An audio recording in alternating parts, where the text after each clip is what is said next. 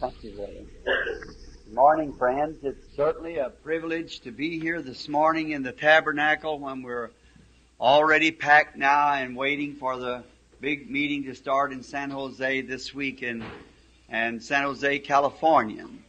Uh, we're going to leave immediately after service for the West Coast, and then we'll be down at Coconut uh, Gardens for about two days also.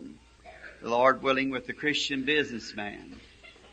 And we're expecting a great time in the Lord on the West Coast. They got 82 churches in the sponsorship and both associations of the San Joaquin and the valleys through the West Coast. And so we're at the fairgrounds there. If some of your friends, uh, you know that would like to attend some of the services, we'd be glad to meet your friends and um, and your relatives. And we're expecting. I have a greater inspe- expectation this morning, and most any meeting I have ever been on yet, because I believe that we're just at the eve of something fixing to happen.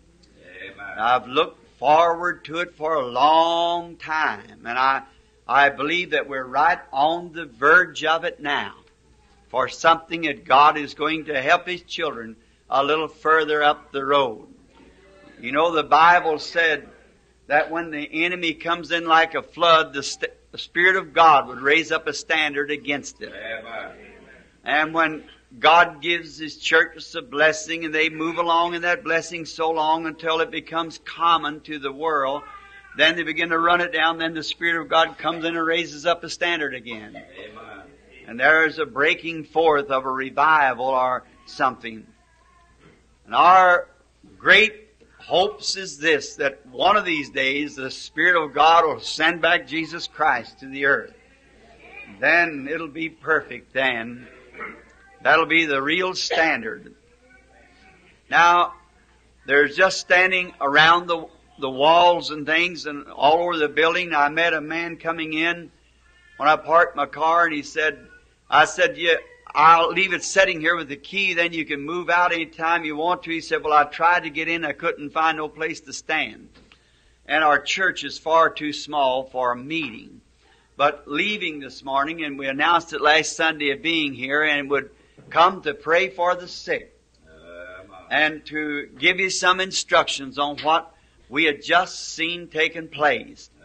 And there has been more by the grace of God added to it for this morning. Now, we've preached and others before us of the near coming of the Lord, the soon coming, and we believe that it's growing closer. Of course it is. Day by day. But if we'd stop and think that one of these days you were going to hear it the last time, and then the Lord Jesus will come. All the earth, uh, the trees, all nature, the peoples, the church, everything is groaning, weeping, holding on, waiting for that day for His coming. Nature knows that it'll, it'll stop suffering then. And people know they'll stop suffering then. Amen. Death will lose its last grip. And the grave and hell will be swallowed up in victory. I was so glad this morning to meet this little pastor here that played us the music and sang from Sellersburg. One of the brothers has been speaking about the revival going on up there, and I guess they've already announced it and so Yes, forth. amen. So that's very fine. May the Lord bless them up there, and every effort that they put forth is my sincere prayer for the kingdom of God. Now, the word of the Lord is most precious to us. We know that. So, today I believe that we're so close to the coming of the Lord, and the fields are so needy.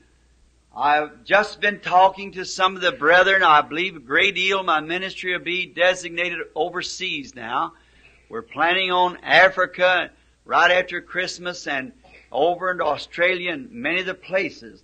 The Lord is moving now and opening up the ways for us. We've had invitations around the world for a long time, and we may be able to take that right after Christmas now, if you all will pray for us. Now, I have here before me the Word of God laying open. Now, I've opened back the pages because physically and by the help of God, I'm able to do that, to pull open the Bible. But I am not able to open the contents. Amen. There's only one who can do that. That's God alone. Amen. He was the one who wrote it by His Holy Spirit. And He's the only one that can open the Bible to us. And I trust that He'll open our hearts as we read it and will make it known to us. I'll be just as briefly this morning first. I want to do as I promised to do. To tell you all what has just happened in the last few days concerning the changing of my ministry. And then I've got a short text. Then we pray for the sick and I believe there's baptism because I've seen the pool is filled. But before we go farther, let us bow our heads just a moment now in prayer. And I wonder how many people in here that are conscious that you need God and would raise up your hands to God and say, so much as doing so, remember me, Lord. I have need of such and such things. Let us pray. O Lord, quietly, we realize that we must come quietly into the presence of God. For he that cometh to God must believe that he is, and a rewarder of those that will diligently seek after him. And we come in the quietness of the Spirit to thy throne, O God, and we lift up our hearts before thee and say, Search them, O Lord. And if there be any unclean thing in us, remove it, Lord, as far as the east is from the west. And if there be any iniquity in our hearts, something that would hinder our prayers from being answered, we pray that you will let the blood of the Lord Jesus move every stain from our spirit and our heart. For it is written, if I see iniquity in my heart, the Lord will not hear me. And thou didst see the hands as they went up that to our physical eyes represented their heart's need. We pray, O Lord, that you will answer each and every one of them. There's many needy. And we would ask in the congregation of the people this morning that you would remember this San Jose meeting coming. Help us, O Lord, as hundreds of miles of snow and ice lay before us to travel. But we're going in the name of the Lord to try to do all that lays within us to help thy people, Lord. Help the lost to find you as their Savior and helping the weak and the blind and smoothing out the way for others that'll follow us.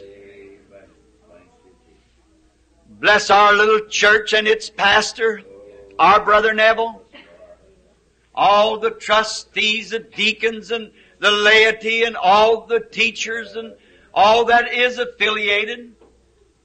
Not only that, but all the churches that's represented here for those young men who are holding forth at Sellersburg. We would ask, Lord, that your hand would stretch out to them, Lord. May you raise up a mighty church of the living God in Sellersburg. Grant it, Lord. Heal the sick, give sight to the blind, strength to the feeble. and salvation to the needy. As we read of thy word this morning, may the Holy Spirit come get into the word and quicken it to our hearts. Bless those who are to be baptized. May they be filled with the Holy Ghost when they rise from the water, giving glory to God. Get glory into thyself, Lord, and as we've gathered this morning for the purifying of our souls and our thoughts. May we leave this tabernacle this morning with a more determination than we ever had to serve you. May we live congregated together, closely woven and bound by the Holy Spirit until that day when we meet in your house in glory around your throne where millions will be singing Hosanna, Hosanna. May we all be there without the absence of one. Grant it, Lord, until that time keep us healthy, happy, and filled with your Spirit, serving you. These things we ask in the name of Jesus Christ. Amen. Amen.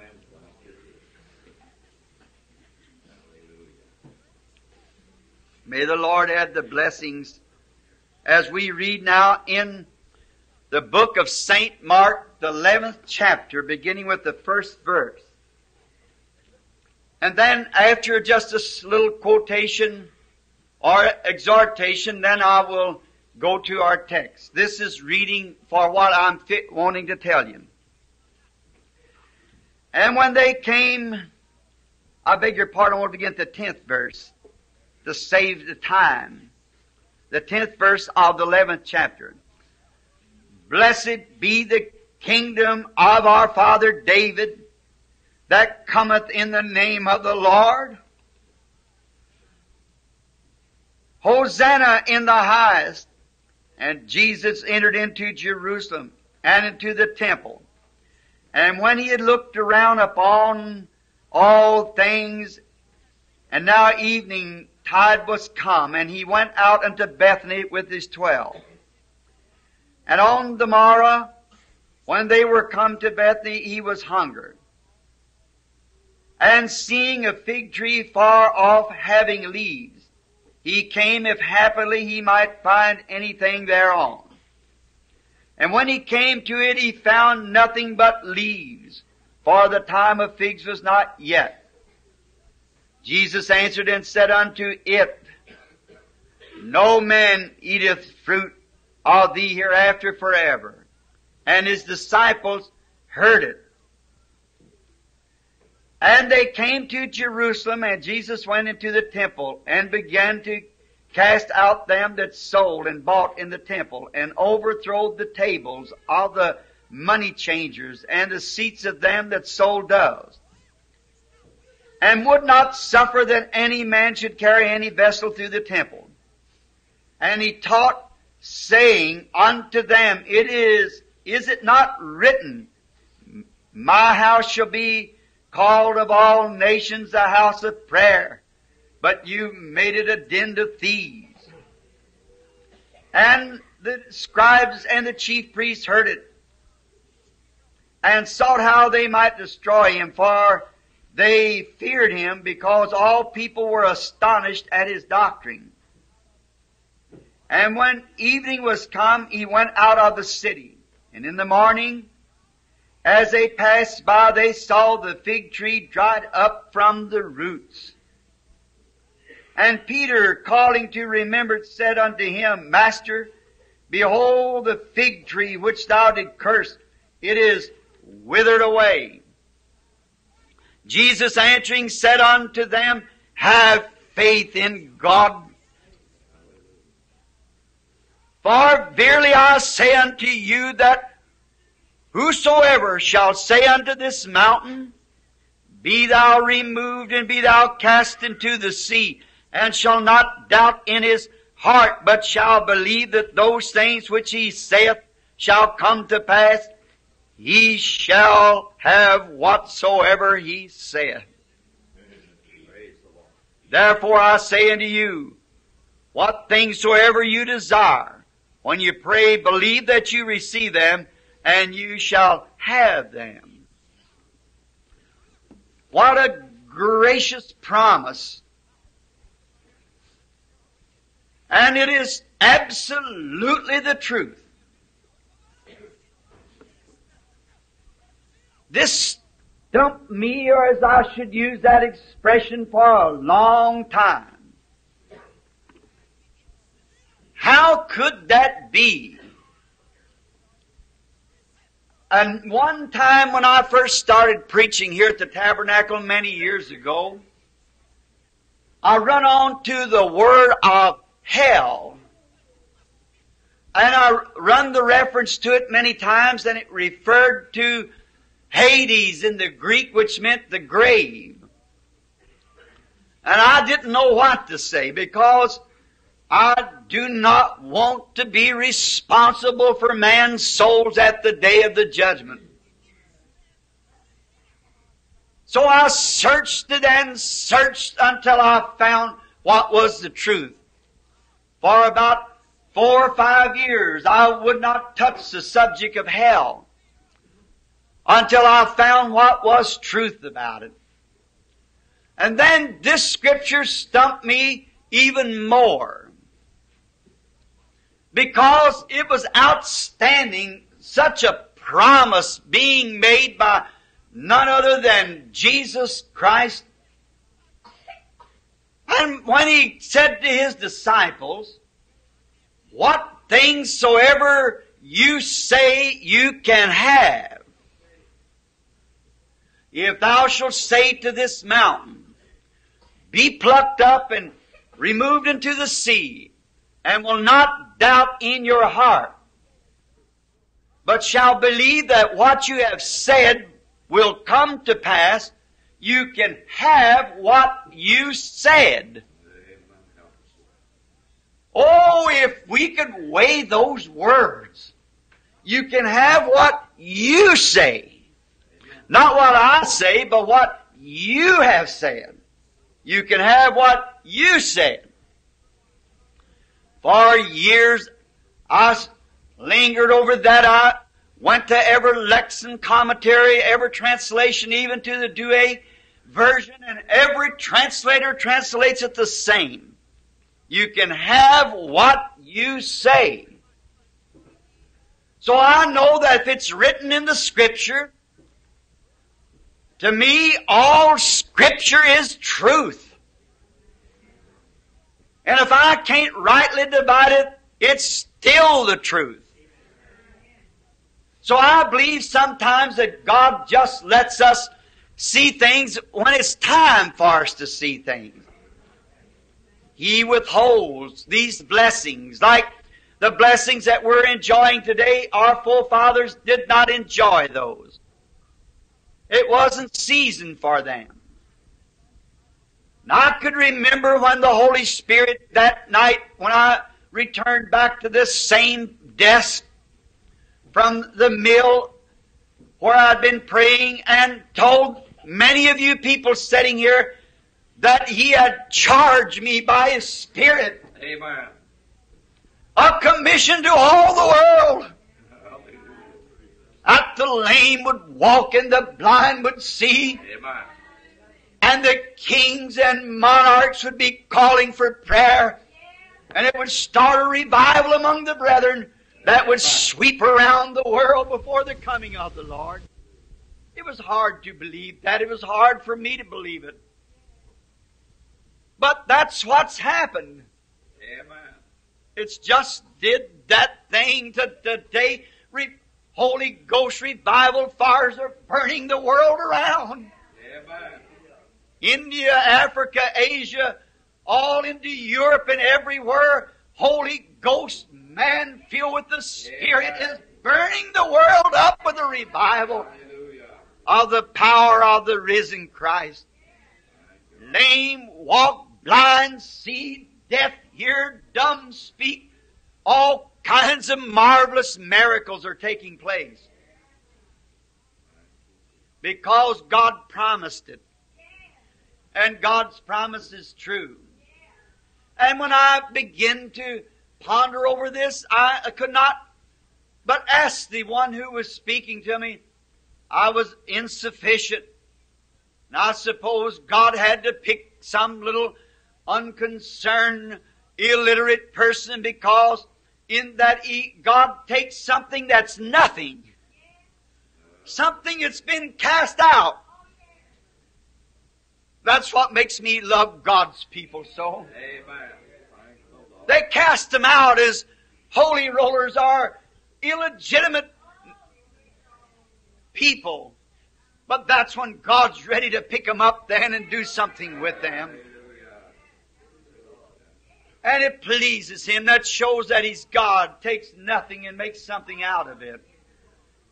Takes a sinner like me and makes a Christian. The hand of God.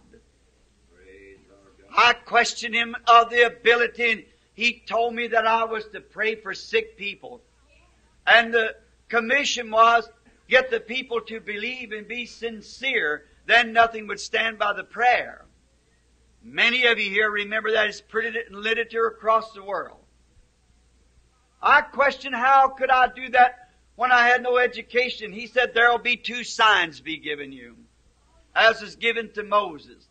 And one of them would be about like Moses' hand, he changed it from leprosy to healing and and then the same taking place about uh, putting my hand on the people and then how that, that made itself manifest. Then he said, you'll know the very secrets of their heart.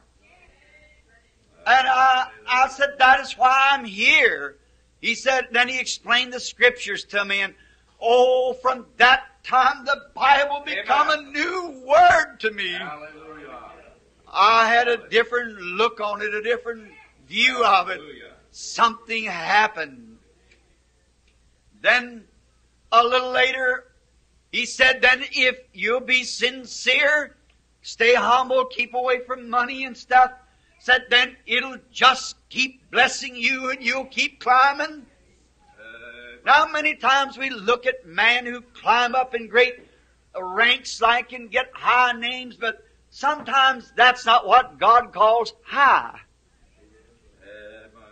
You remember when John when came preaching, the Bible foretold that every mountain would be brought low and every low place would be lifted up. See, and when it come, you would think it would be coming out of heaven with fiery chariots, but what was it? But a poor man dressed in a piece of sheepskin, wrapped around him and out on the banks of Jordan preaching on the muddy banks, not even in a church, but God called that great. And when Jesus said to the disciples that there wasn't one born of a woman as great as John the Baptist, Hallelujah. you take all the kings and David, the prophet and all of his great splendor in Solomon, they didn't even touch John. Hallelujah. And yet he didn't even have a place to lay his head. Oh. So you don't have to be rich and mighty in this world to be great in the sight of God. You only have to be humble in your heart. Hallelujah. God calls that greatness he that's great enough to humble himself. That's a great person. That'll, that'll take the blame for everything. That'll humble himself. That's greatness. Then we find that this, what God said, then it was pronounced from the pulpit here the first time, it done just exactly what it said it would do. Amen. There come up the Pentecostal church caught revival. And today the Pentecostal church is the fastest growing church in all the world. Last year they registered, that doesn't include us and, and these out of the denominations, one million five hundred thousand conversions. Last year. Which covered all the rest of Protestantism put together and Catholicism too. Catholicism only had, I believe, 475,000, something like that, converts around the world. But Pentecost went a million five hundred thousand. God's making His church ready. man of no education, low degrees, rise up in the power and anointing of the Spirit. Go out without any education or anything and proclaim the unsearchable riches of Christ.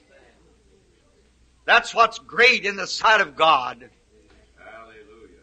And we notice then that all these things set fire and the Holy Spirit was true to His Word.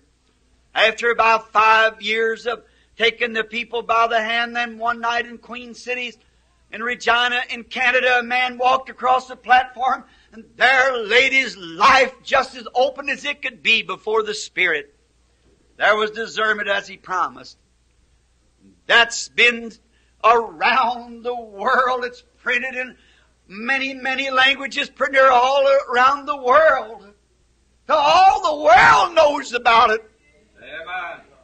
Then the enemy come in and made fun of it and said it was mind reading and there was impersonations come of it and everything else, but in the midst of all of it, God moved right on just the same. Thank the Lord. God stayed true to His loyal promise. He will every time. Now we find later then, one day I was going a, a fishing down at Dale Holler with some man, Mr. Woods and his brother. And they were Jehovah Witnesses and just had been converted and baptized into the faith. And while we were fishing over against the bank, I've told you the story many times. There, uh, Mr. Wood said, uh, the Banks Wood, uh, one of our trustees here now, said about some old sister that used to feed them a slice of homemade bread and butter. She belonged to the Church of God. And said loud to his brother, we ought to go up and tell her that we got saved. You know, there's just certain things that we can say that takes a hold with the Holy Spirit. Hallelujah. Just certain things that pleases Him just right. And when we say that thing, I want you to notice what you say. Hallelujah. If we can just find what to say, Amen. your words judge you. Your words condemn you, or your words will bless you. Hallelujah. And unconsciously, Banks must have said the right thing. For no more than he said that, I was sitting in the back of the boat fishing with a fly line for little bluegill fish to be, to put on the line for bait before we'd run out of bait. And I was catching these little fish and putting them in a bucket for the trot line. And when Banks said that, all of a sudden something struck me. He said the right thing. And the Holy Spirit spoke out and said, Thus saith the Lord. You'll find in the next few hours there'll be a resurrection of a little animal. I thought it would be a kitten that I thought my little boy had squeezed too hard and squeezed the breath out of him and, and dropped him on the floor before we left. I thought that's what it would be. But to our surprise the next morning, while we were sitting in the boat, I know Banks is here. I guess Lyle, is Lyle here, Banks? Or do, if you are Lyle, raise up your hands. He comes down with us all the time. Um, he was caught a fish with a one of the, a long hook, and he caught a little bluegill fish, and it swallowed the hook all the way down. And he took a hold of the little fish instead of just taking the hook out of his mouth. He was caught so deep till he just pulled it, and he pulled the the stomach and the intestines and the gills and all right out of his mouth. And he just threw it out on the water, just a little fish like we had been fishing with night before, and had cut up a hundred of them or more for bait. And the little fellow quivered four or five times and tried to work his little mouth, but he couldn't because it's filled up with gills and so forth. And Lyle said, You shot your last wad, little fella. Well, I went ahead fishing, thinking nothing about it. Then God does things so strange. All of a sudden, I felt there coming something down over the top of them woods. The Holy Spirit moved down and said, Stand up! Said, Speak to that little fish, and it shall have its life again. It had been laying there dead for a half hour. Done floated back into the weeds. I said, Little fishy, I give you your life in the name of the Lord Jesus. That little fish turned over, flipped up and went out to the water just as hard as he could go. I stood there not knowing what to do. Brother Banks Wood said, it's good for us to be here. And Lyle said, that meant me because I said that thing to him. You shot your last wad, little fellow. And he got all excited. I said, no, it isn't. I was trying to console Lyle. I said, that isn't so. And then this scripture came to me again. I had at least a hundred little spastic children on the list to pray for. Many people with leukemia and cancer and tuberculosis being eat up, blind and deaf and dumb. There's page after page at my house full of them. And it looks like that a merciful God would have granted that instead of using his power on a little old insignificant fish. But he remains God. Why didn't he use his power on the lepers at the gate instead of the little fig tree? What is it to do? God wants to show that he's concerned. He knows all things. He's God over the fig tree. He's God over the fish. He's God over creation. He's God over all things. And there's nothing too little or too insignificant but what He's interested in. So that would give us to know, though we be little and insignificant, God's interested in us doing something for Him. He likes to display His glory. And that stuck with me so hard that I could hardly rest day and night. That's been two years ago and constantly it has haunted at me. And I'd say, oh, I just can't say nothing about it. For I can't place it in the atonement. Whatsoever you say, it shall come to pass. You can have what you say. Now I've stood here at this same pulpit and tried and run on the scripture and refrained from it and go back because I was afraid to use it. You cannot have faith unless you know what you're doing. Amen. Some fellow come to me not long ago and he said, Brother Branham, do you think it's wrong for a Christian to smoke tobacco? And I said, what are you asking me for? If there's a question in your mind, leave it alone. Don't never, you can't have faith unless you're perfectly sure that you're right. When all shadows have drifted away, then you can have faith and confidence. And I could not walk out there and preach that scripture not knowing what I was talking about. But yet I knew it was of the Lord. Many of you people bear me record that for the last two years you've constantly heard me from this platform say that there's something, something, somewhere. I'm reaching, I know it's close at hand. I just can't seem to grasp it. I say I hit a scripture that I don't know what to do. Because Hallelujah. scriptures, oh, you might put an interpretation. If someone would have asked me, I'd said something to them and walked away and turned it off on something else. But to face the issue, just like we've got to face the issue, is the baptism of the Holy Ghost right or wrong? We've got to face the issue, is Jesus Christ the same yesterday, today, and forever? Is it right or wrong? We got to face it. We must know that God's Word is always true. Amen. So, on it, went and up and down, and I'd get it in my mind, and I just couldn't get it away. And everywhere I'd go, it would constantly come to me. If you say to this mountain, Be thou plucked up and cast into the sea, and don't doubt in your heart, but shall believe that what you've said will come to pass, you can have what you have said. I thought, how can it be, Lord? That would be me saying it. I would, it wouldn't do no good, for it would be me saying it. So I can't say nothing but what you said, and I, I just say that by the scriptures.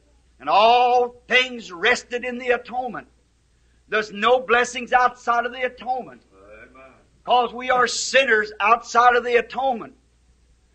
If it was just a universal thing for everybody, then everybody would be saved. But it's your attitude towards the blessings of the atonement that brings the blessings to you. Like salvation, as far as God was concerned, I was saved when Jesus died, but it'll never do me no good until it's revealed to me that He's the Son of God. And I've accepted Him as my Savior. And every scripture is the same way. Divine healing's for you if God will reveal that to you that that's for you. But you can't just stumble at it. It's got to come by revelation. Amen. And when it's revealed that by His stripes you were healed, there's nothing Satan can even do, as our young brother from Sellersburg said. All the devils couldn't move it. Sure, once something is revealed, notice, then in this last fall, many has said to me, why is it every morning you, when you're home, you grab your rifle and take out to the woods to hunt? I want you to know that He's God of the woods just the same as He's God of the city. He's just as much God out there as He is here. And God always deal with man according to their capacity. And what like David by the still waters and green pastures because he was a shepherd. And different ways he has revealing and something I'd get up of a morning to go out to the woods real early around four o'clock to squirrel hunt. My wife even said to me, she said, Billy, don't you never get tired of going hunting. See, this battle is won alone. My wife doesn't understand it. I don't understand it. But it's a fight. You have to stand alone. Nobody can stand with you. Just room for you in Jesus. Hallelujah. Misunderstood, sure. Even to my little girl there, Rebecca. She said, if I ever marry a man, if he even mentions going hunting, I'll not marry him. Said, I know what my mother's been through. Husband out and gone to meetings. As soon as he comes home, grabs an old rifle or a fishing pole and hits to the woods. I said, would you rather he'd do that or would you rather he'd grab a deck of cards or, or some blonde and take off? Amen. I just draw your opinion. When I come back that day, she said, Daddy, I apologize for that. I'm going to marry a man like you that likes to hunt, then I'm going to hunt with him. She said, I'm going out with him. I said, well, that's all right too. I wish you could talk to your mother a little bit about it. But it's something in the woods. When I first learned of God, I wanted to repent. I didn't know how to repent. I didn't know how to talk to Him. So I sat down and wrote Him a letter and asked Him to forgive me. And I didn't know how to do it, so I noted I'd felt something out in the woods and I tacked it on a tree. So when he come down through the woods in the place I had saw him, and he could read this and would understand what I meant. And I was sorry I hadn't served him, and I wanted to forgive me my sins. Then I got ashamed of myself and took it. I said, if he's a man, he'll understand as a man. He's my creator. And I got down in the shed and began to speak to him like a man, and he answered me back like a man. Then it was on the, I've got some dates set down here on October the 12th. On the 15th, deer season was opening over in Wyoming. On, on the 12th was the last day I could hunt. and we were going to leave on the 12th, I mean on the 10th. It was in the woods, which was a Saturday. Sunday I preached, which was 11th on Monday. Brother Sothmann and Brother Robertson back there and all of us, we left for, for the meeting, uh, for the deer hunting over in Wyoming. On that morning of the 10th, which would be then on the 18th, the season would close in Indiana. We would have no more squirrel hunting. So I said, this will be the last time I can go out. And we gathered a bunch together and I strayed them around the woods. I went way back up into a place where I love to go at Salem. Season was late. Squirrels were few. I've been out several times just getting one squirrel at a time. So this morning I made my way to the same woods and a wind rose and began to blow and anyone who hunts knows that's a bad morning. I hunted all the woods through without seeing one squirrel or hearing one. I went down into a creek bottom and started up to find another little scope of woods. And as I drew near this little wood, there was a, a lot of walnut trees and locust trees, the leaves all off of them, just a bare thicket. Along beside of two sycamore trees. Now squirrels don't uh, hang around sycamores. But right up from it, I seen looked like a cup the glimpse. I caught the glimpse of a squirrel going up through the woods, but he was running fast. Oh, I said, there's no need of hunting. Here's people out here, the farmers picking their corn right around this little woods. The squirrels would not be here. So I sit down between the two trees and prop my feet up on one and lean back against the other in the warm sunshine. I thought, I'll just take a little nap. Then I'll get Brother Banks and Brother Sothmann and the boys as I go back and down the road. And as I sit there, pardon me, as I sit there under the tree, just got snug down in the warm sun shining on me,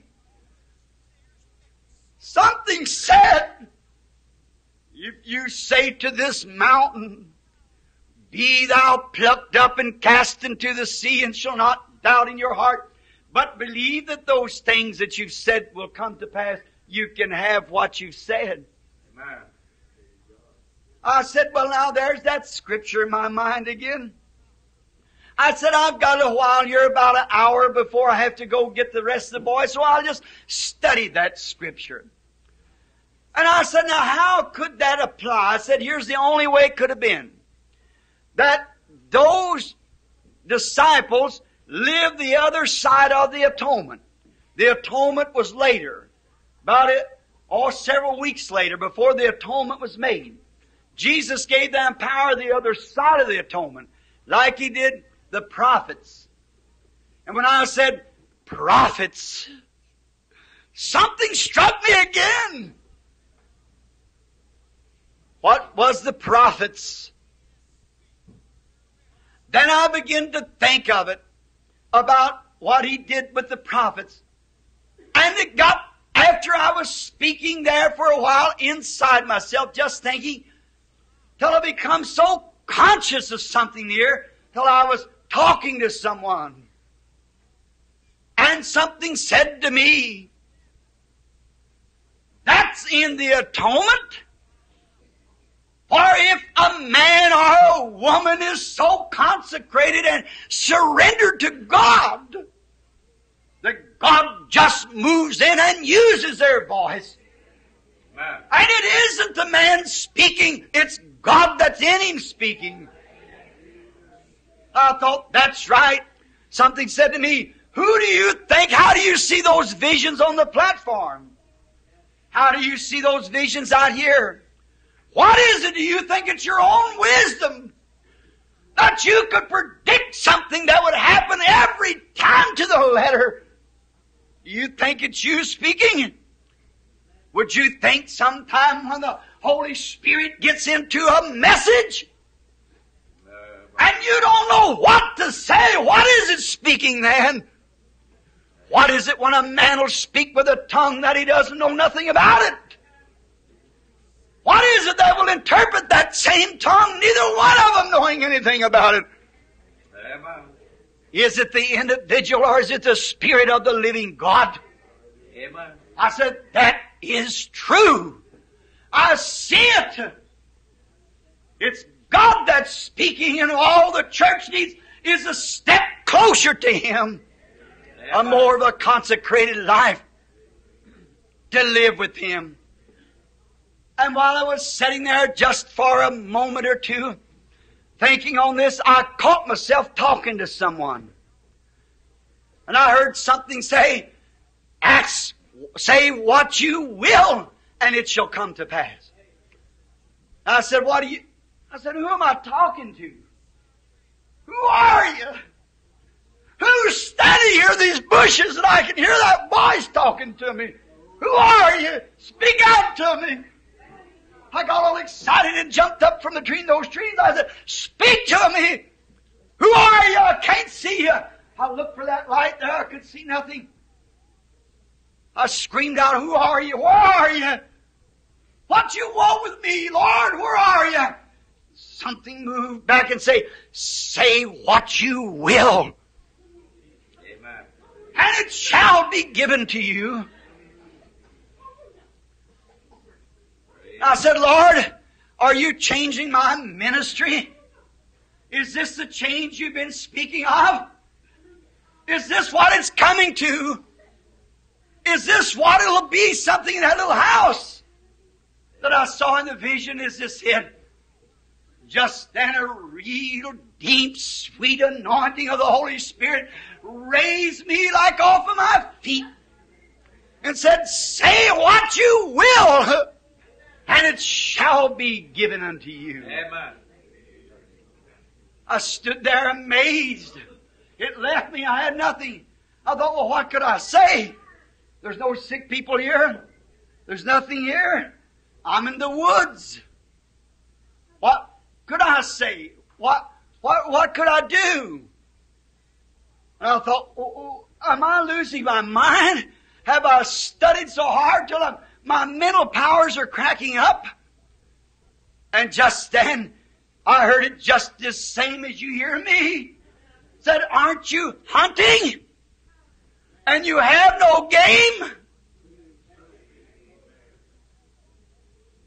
Said, speak anything that you wish.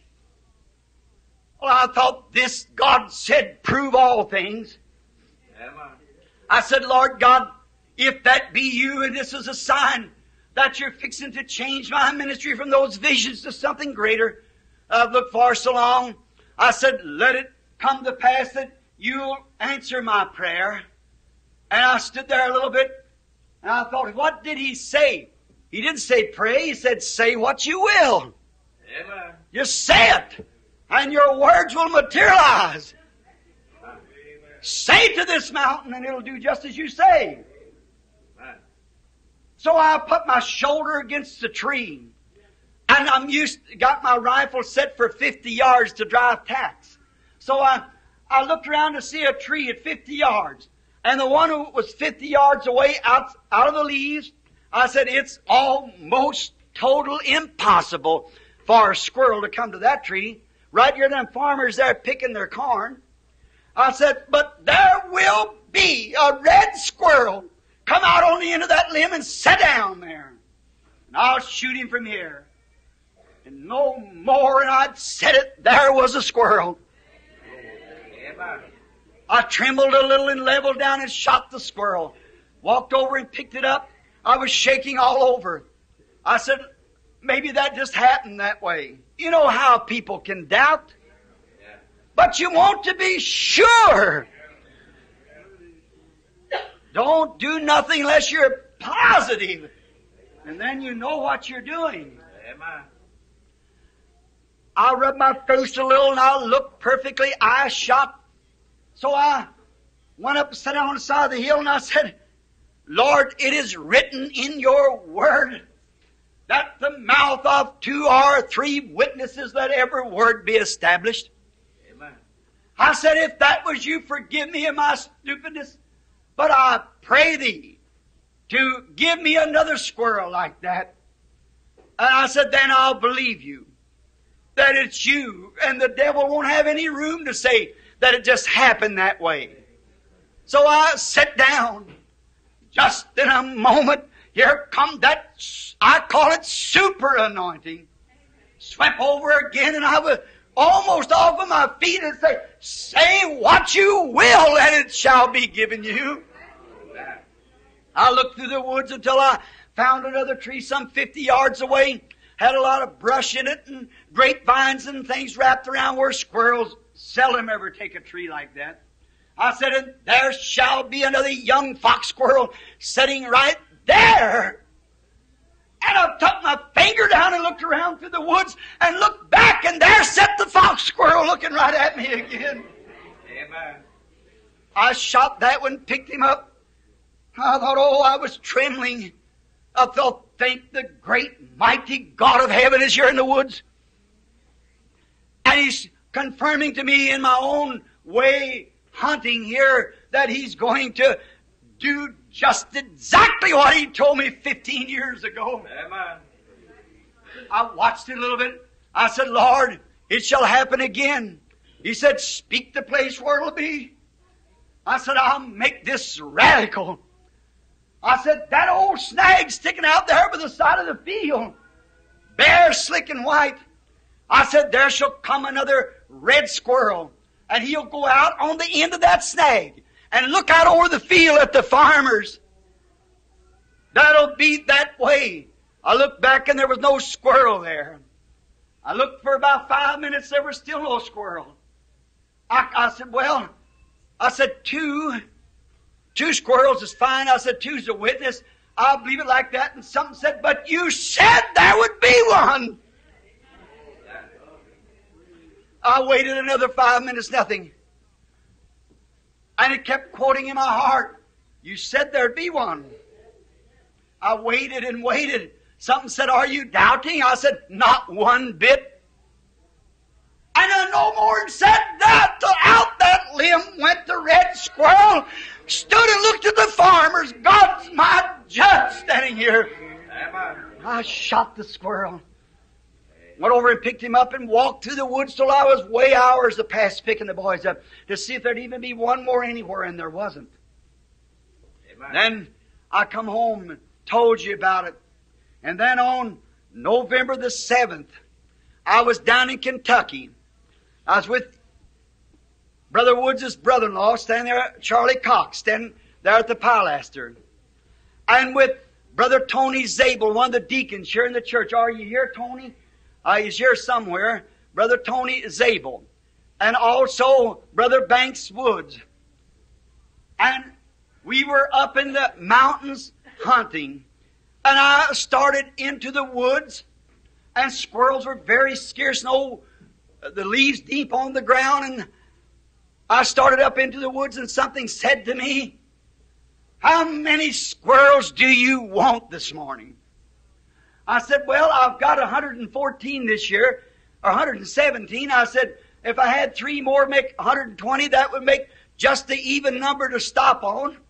Now I said another thing, it would be give me six to take home, which I love them better than any meat there is to eat.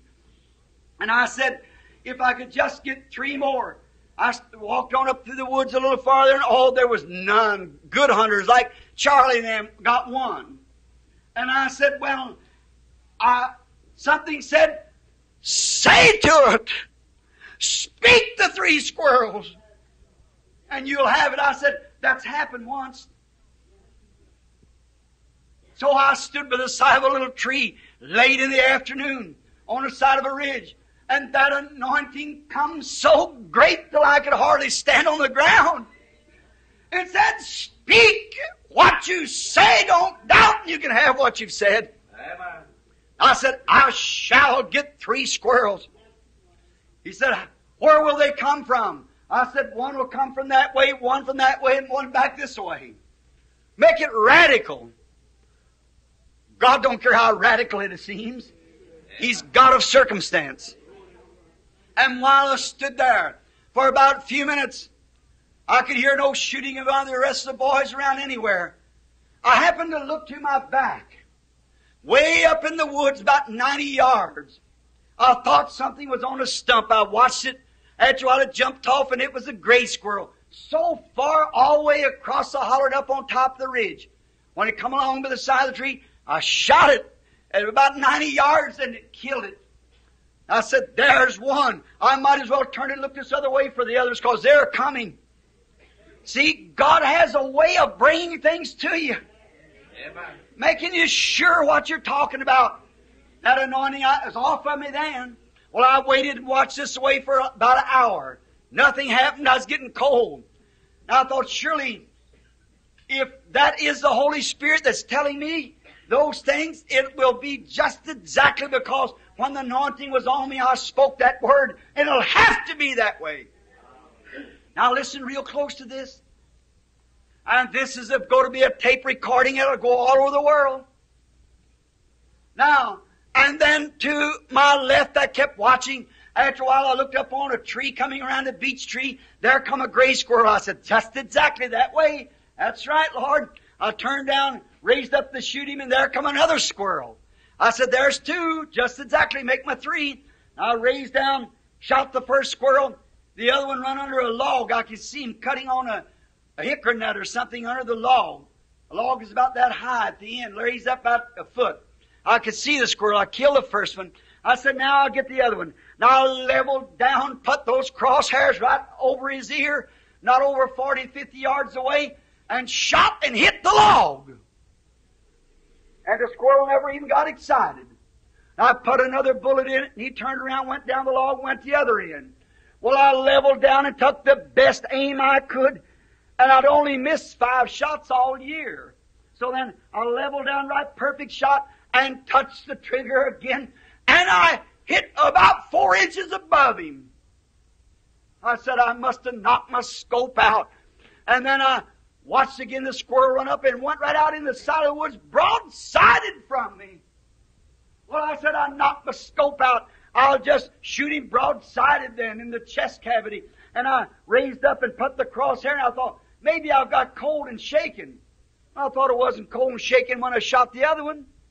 So then, just the same, about a minute or two apart, and I got a hold of a bush and put it in my hand and held the gun real tight and put it on the cavity, chest cavity of the squirrel and pulled the gun off and I shot a foot under him. And I pulled to get another shell and our gun was empty. While I was loading, I said, I'll get him if he'll stand there. And when I got, the squirrel went on up through the woods. I stood there, I thought, what? There's three shots straight missed. And I've only missed five out of 114. I said, how could it be that I, my gun would be out? And just then it come to me, you can't shoot that squirrel that way. He was come from that way. God's word is perfect. Couldn't shoot him from the south, he's coming from the north. Well, I said, I'll just turn around this way then and watch north till he comes. I put more shells in the gun and watched the little, I said, if he comes, he'll have to be awful close. I don't like to shoot one close. It isn't sport. It isn't nice to do it. So one was the thicket there. I said, well, I'll have to get this one from the north because I said that way. So I stood this way watching. And I, I said, I, I guess got late. I said at a quarter to four. Now four o'clock, I'll have to leave because with them too, because the boys are waiting for me. And so I waited a little while. Four o'clock came, three minutes after four. I said, well, I'll go get my squirrels. I went up and got the squirrels, come back so dark I could hardly see in the holler. I started down the holler. And as I was going down the holler, it was dark, and I passed the place where I've been standing. Something said to me, Aren't you going to go up there and get that squirrel? I said, How can I see him now? With a little telescope sight, little bitty fine target scope, hardly enough light to see a few feet in front of you. I said, How can I see it? Said, But you said that there would be another one. Oh, I wish I could just make that somehow I could get to see what that, yeah, that what that really means, friend. See, under that anointing, it wasn't me that said it. It was God that said it. And I walked a couple of steps, said, turn and go back towards the north. Your squirrel's there. I went, turned, and I said, Lord God, I won't doubt a bit. I started walking back towards the north. Now, are those sitting here this? started walking back towards the north, and way up on the ridge, 50 or 60 yards away, a squirrel run up the tree, just enough light that I could see him. I searched with my scope all up and down the tree. No squirrel I could find. After a while, I thought I seen a knot on the tree way up there, so dark. I said, well, I'll try that anyhow. And I shot, and when I did, a squirrel run around the tree and run down. I heard it hit the ground. I thought it jumped off. Same time that happened, about 20 feet from it, one run up a white oak. I said he run down one and run up the other one. Now surely, Lord, you won't let me miss him. After I've already said under that anointing that this would be, and you're confirming my ministry, this will be six times that you've confirmed it to me. A number of man, six times. I said, you won't let me miss him. I looked all up and down the tree, and way up in there I thought I seen some leaves. I've seen something moving in it.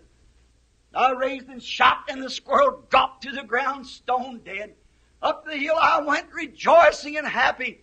I went to the first tree over to my left, and there laid the squirrel. Well, I said, I know I got that one, but I wasn't sure of this one. I said, then Lord, you give me one for a good measure. I goes over to find the other squirrel. He wasn't there. And I looked and I looked and I searched under leaves and raised up little pieces of chunk and tore open an old log. And it wasn't but one log laying within 30 yards. And I tore it all to pieces, looked under the sides and held my hands in the leaves and felt there was no squirrel there nowhere. On up this big old snag on top of the hill. I went up that little snag, this little bitty hole. I felt in there and I thought I felt my squirrel raising up and down. When I was, I said, well, I can't get to him, so in the morning, I'll bring the boys back and get, I've got to go tell them.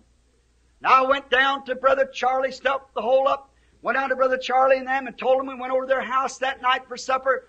We was rejoicing in the presence of the Lord. And when, before going to bed, Brother Charlie there asked, uh, Brother Tony Zabel back there to lead in prayer. Now I don't say this to conflict or to hurt Brother Tony.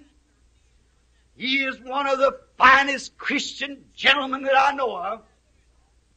But just show you how the Lord works. Tony in his prayer that night said, Lord God, let it be known to us that our brother is telling us the truth. That tomorrow he'll find that squirrel in the stump.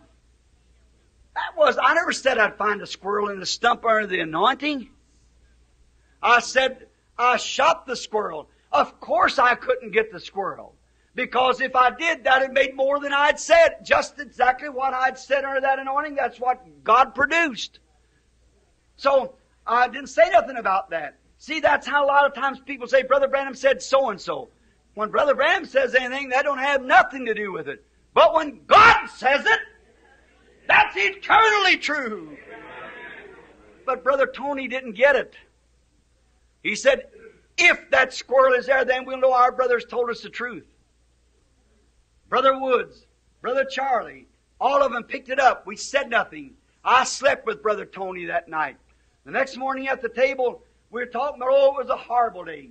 And Brother Tony said, well, there's one thing. Brother Branham will probably get his out of the stump this morning. Out of the tree. I said, Brother Tony, I never said the squirrel was in there. I said I could feel it. When it raised up, it would drop. He said, it'll be there. It'll be right in the stump. We went on up, and when I left the car, I started to turn back again and say, there's something wrong. I better tell Tony now, because if that squirrel isn't in that hole, in that stump, I come back with no squirrel at all, then according to the way he prayed last night, he'll still believe I told a lie. And I said, God, you know with my Bible that I've told the honest truth. And God knows that's the truth. It's just the truth. And I went on, something just drove me on. And I went walking up through the woods hunting. I kept thinking, what if that squirrel isn't in there? He gave me his hunting knife so I could cut a, the hole bigger, reach in and get it. And something said to me, if it isn't there or if it isn't there, what makes a difference? I said, he will, he wouldn't believe me. He prayed and said that if we find the squirrel, he'll know that our brother has told us the truth. And that great anointing comes and just say the squirrel will be up there and you'll get him. I thought, surely, Lord, surely this will be seven times straight. While this anointing's on me, I said, Is that you? He said, Say what you will. I said, I shall find that squirrel. The anointing left me. I hunted on till 9.30 what we are supposed to do. Coming down and go get some dogs, and they thought they were. And I went on up the hill at 9.30, looked in the hole, felt around, cut. There was no squirrel there at all. In the hole. I felt all around now what I was picking up was little fine grass roots or roots of trees. I was picking up and feeling it fall off the stick. When I run the stick in and pull it up like that, I thought I was picking up the squirrel. It's sliding off the stick, but it's little roots and things. No squirrel in there. I thought, now what will I do? I said, here it is 9.30, I've got to go back. I picked up my rifle and started down the hill, and something said, did not you say you'd find the squirrel? I said, where would I find him? God being my solemn judge with His Word here. Now I'm a man of 50 years old, a preacher of the gospel, standing in this pulpit. Something said, look under that little piece of bark. I said, Lord, I wouldn't doubt you for nothing. I walked over and picked up the bark, and there was no squirrel there. I thought I, just before I did it, some said, what if he isn't there? I said, oh, he'll be there. I picked it up, there's no squirrel there. I looked down with amazement. I saw a little bitty piece of gray sticking out from under a leaf. I pulled it up and there laid the squirrel. Making it just exactly right what he had said to do. Down the hill I went and told him about it and we rejoiced. And when I come to the car, Charlie standing right there Banks, they were talking. Wasn't that strange that Tony would say a thing like that in his prayer as well as he loves Brother Branham? And why would he doubt his word and say that? See, he just had to say it that way. For God knew that I'd stand in the pulpit this morning and claim the same thing. You've got to watch what man says and then what God says. What God says is true. Then I thought, well, praise be to God. I went down, we had a great time, come home. Brother George Wright for years has made the communion wine, that I'm closing, has made the communion wine for the church. Brother Roy Roberson back there called me and said, Brother Branham, let's go down and get the communion wine from Brother Wright, which is sitting here, him and his family. Now listen to this close as we close. Oh, God. We got to Brother Wright's early in the morning, and as usual, a big welcome out. And we well, talked about the wine, and then little Edith, the little crippled girl sitting there, which I've loved like we do here at this tabernacle, not only me, but this tabernacle, like she was our own sister. The Wright family's been the oldest family, one of them with the Slaughters here. Roy Slaughter and them, and the Wrights are Mrs. Spencer. Them were among the oldest that's been in the tabernacle. I think the Wrights has been coming here for some 25 or 26 years. I prayed and I prayed for that little girl. I prayed to see God heal her, and I've seen afflictions even greater than hers healed. And I've fasted and I've prayed and I've longed and I've sought the Lord with tears for the healing of that little girl. Poor little feller was afflicted when she was just an infant. Perhaps infantile paralysis. It's drawn her little hands and feet. She suffered for many years, and when we prayed the first time for her, she stopped suffering. That's year, 26 years ago. Once she gets a stomach ache or a toothache, just as soon as we go to pray for her, I know the Lord's going to ta- take it. But that affliction, and I've seen her sit here in the building when other cripples would get up and walk away in afflictions and so forth and wonder, why don't that little girl walk? Lord, appear over her. Let the angel of light overshadow the child so I can speak, thus saith the Lord. If it was up to me, I'd speak it, but it ain't up to me. It's up to Him. Amen. Now I watched it, and we were come back. She wanted a rabbit. Brother Woods and I went out and killed two rabbits, brought them back for her. She had dinner ready. Mrs. Wright and them. And during that time, Sister Hattie Mosier, she just lost her husband. I married the couple some years ago. They got two fine children. And Brother Watt was killed. His own boy found him under his tractor, mashed to death. And the little boy had a break and something happened to him. Brother Woods and I went out one night and stayed into the night where his mother and uncle were staying with him. And the Lord let him be well and he's sitting present this morning. His mother was interested in him. That teenage just began to get out with the world. 15 years old or something. His little brother coming on 12, 13 years old. Sister Hattie Wright, all of you know, we call her Wright, her name's Mosier. But she's been a loyal person. A little old housewife. Lives in two rooms away back up into the hills. Out there with a shovel and a hoe. Trying to hold the cockleburs out of a corn patch to keep her little family together. She's worked faithfully. When I was sitting at the table eating dinner, I've been explaining what faith was. I said, if faith's like this, if I see a vision of Brother Shelby sitting so and so, and each one the way there was, and Sister Hattie was sitting way back out toward another room. She didn't have much to say. Never does. And then while we were talking, I said, if the Lord showed me a vision that something was to take place, then I would, could say it. That's what raises my faith. I said, when the Lord shows me what'll take place, then I've got confidence it will be that way. When He showed me, I said, I'd come right here. If that little afflicted girl sitting there and the Lord showed me she's going to be healed, I'd come right here and stand in the tracks, see if everything was just exactly the way He said, and then say, Thus saith the Lord, Edith, rise up and walk. I said, you'd see those little legs unfold, them little hands unfold, and she'd get up from there and walk to the glory of God. I said, if it would come like that.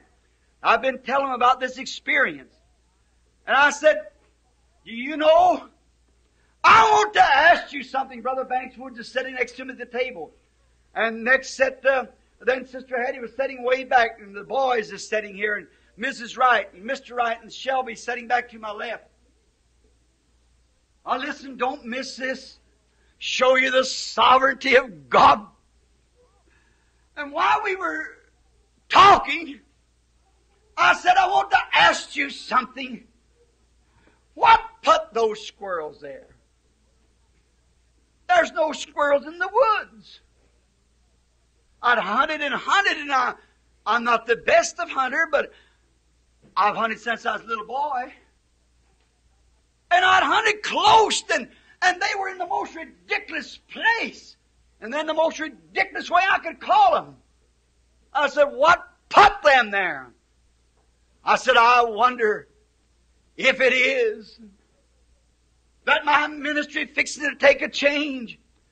That the God of Abraham is confirming His promise as He did to Abraham when He's up on top of the mount and He needed a sacrifice for it instead of His son. Jehovah Jireh performed a miracle and placed the ram a hundred miles back his three days journey. And any ordinary man can walk 25 miles a day. Then he lifted up his eyes and saw the mountain far off. And then went to the mountain and went up on top of the mountain. Wild ram back in there, a sheep, wild animals would have killed it. And then up on top of the mountain where there's no water. How did that ram get up there? What happened? God needed a sacrifice to prove to Abraham that he was Jehovah Jireh. The very God of creation spoke a ram into existence. Now it wasn't a vision. He killed the ram and blood came out of that animal. It wasn't a vision, it was a ram. I said, that same God, hallelujah, Amen. That Jehovah Jireh is just as much Jehovah Jireh today as he was on the mount with Abraham. He can still produce an animal to his glory. These squirrels without a vision. I shot them. Blood came out of them. I dressed them and eat them. They wasn't visions. They were squirrels. I said that same Jehovah Jireh trying to get his promise over to me. My thickness and dullness of mind. He could speak my need into existence as same as he could speak Abraham's need into existence. I no more and said that until Sister Hattie's sitting there crying now. Hadn't said a word. And she said, That's nothing but the truth. She said the right thing. She said just like Banks said down there. I heard her voice as a swept from my ears like up into the woods. Mrs. Wright, sitting back there with her little girl, was trying to interpret what Edith said. I couldn't hear Miss Wright. And that super anointing swept over me. Said, tell Hattie that she's found grace in the sight of God. Who would have thought? Said, tell her to ask whatever she will. Then you speak it by this gift into existence. Amen. Whatever she asked, speak it into existence. I looked at Sister Hattie. The first time it was ever performed on a human being. I said, Sister Hattie, ask what you will. God's going to give it to you. What do you think of that? Does it get into you? Seven times he had confirmed it by an animal. Seven is God's complete number. Here's the first time on a human being. And he, what did he choose? Some great aristocrat? A great noted minister? A poor little widow woman that can hardly write her name? God knows what he's doing. Said, ask what you will. Had he said to me, Brother Branham, what do you mean? I said, ask anything your heart desires, and it shall be produced right here, that you'll know that the Lord God of heaven answers, and His scriptures are true. My first time with the new gift, my first anointing, I could hardly hear. And she looked around. We've been talking about her little crippled sister. I said, oh, no doubt in my heart, within a few minutes, little Edith will be jumping to the glory of God. Hattie looked around, all around, and she said, Brother Bill, my greatest desire is for the salvation of my two boys. What a, why there couldn't have been a greater thing. She could have asked for ten thousand dollars, she'd have got it. What if it had been some millionaire would have asked for another million? God knowed what she's going to ask for. Sister Hattie, at least a seven or eight witnesses standing there. All you people that was present when that happened, raise up your hand. Everybody in the building was present that happened. One, two, three, four, five, six, seven, seven of them, eight of them. Eight of them was present when that happened. I said, ask anything you want to, cause God's given it to me to give to you whatever you want. She said her boys was beginning to go off on the teenage tantrum. And she said, the salvation of my two boys. I said, by the will of God, by the power of God, I give you in the name of Jesus Christ your desire. And her two boys shook under the power of God. And that old building trembled. Banks fell into his plate, Shelby grabbed, and Hattie screamed you could hear for two blocks. And them two boys with tears rolling down their cheeks received exactly what they asked for. Oh, the first time it was ever used on a human being. Ask what you will, and it shall be given unto you. Her boy sitting there with her this morning.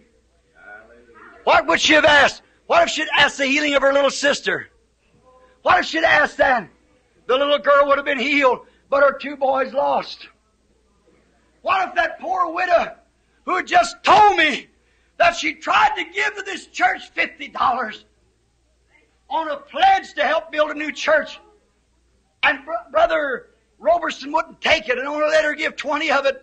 And I said to myself when she was speaking, I'll give her back the twenty. But God said to me, in my heart now, not by vision, in my heart, when Jesus was standing watching a widow put in three pennies, where there was thousands of dollars laying. What would you have done? I said, well, if I'd been standing around and said, we don't need it, sister. We got plenty of money, but Jesus never said it. He let her go on and do it because he knew what was down the road. So help me God.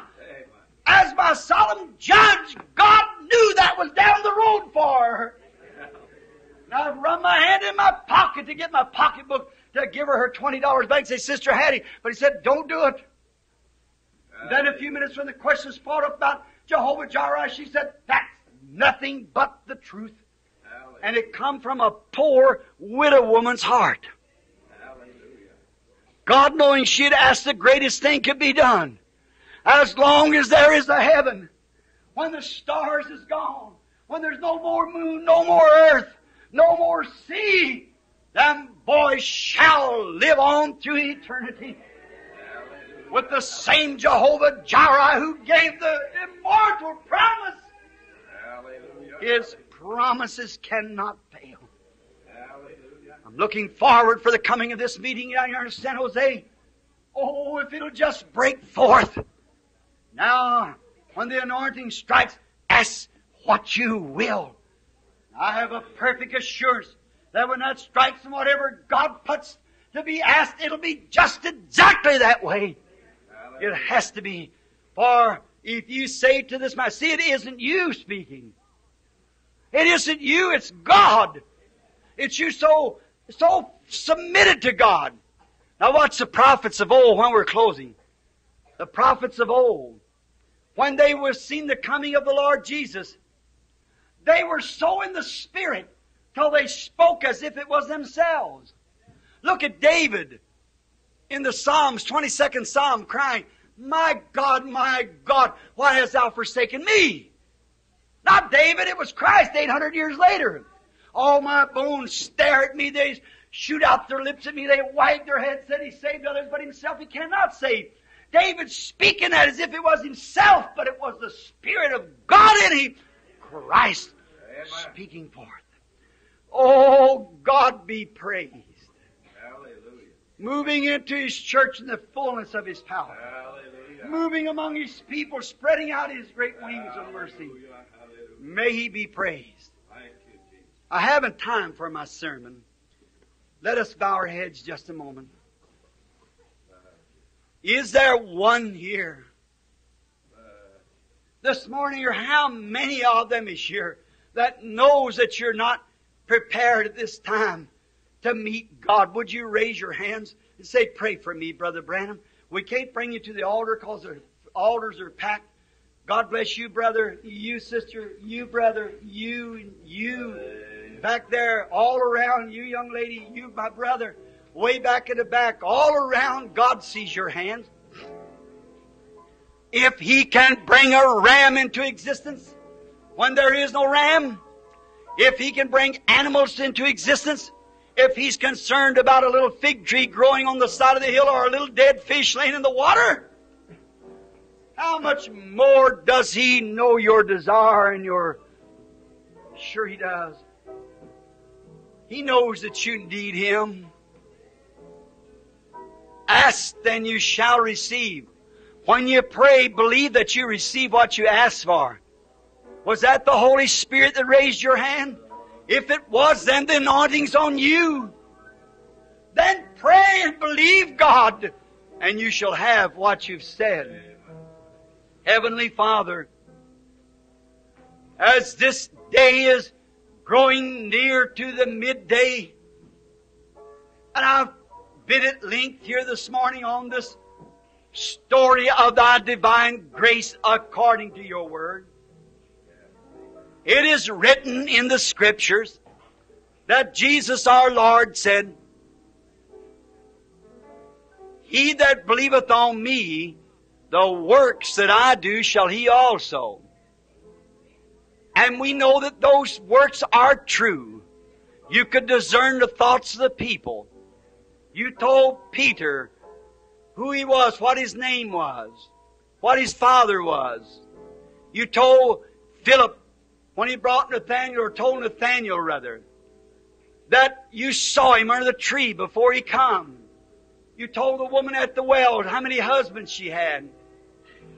Oh, there is nothing hid from you. You knew all things, and that was your works.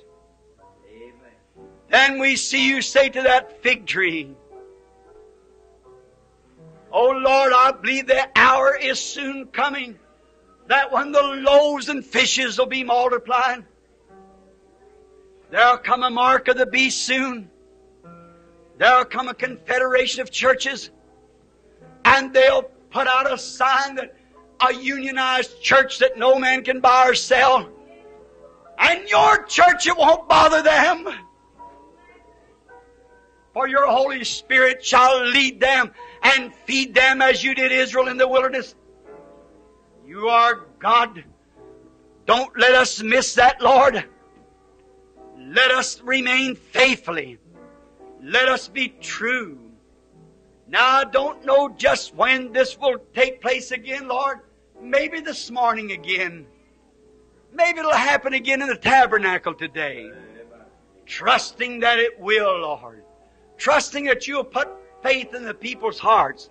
And know that I haven't misled or said one thing wrong. I've said it just the way it come. To the best that I know in my heart, Lord. Watching my words and weighing them. Knowing that you have confirmed that to me as I have said seven times. And knowing immediately after that on the first human being I ever spoke to, she got the desire of her heart the moment she spoke. Now, Lord, there's many desires in here this morning. You'll have to anoint your servant, Lord. If you'll just send the anointing, let me have it this morning.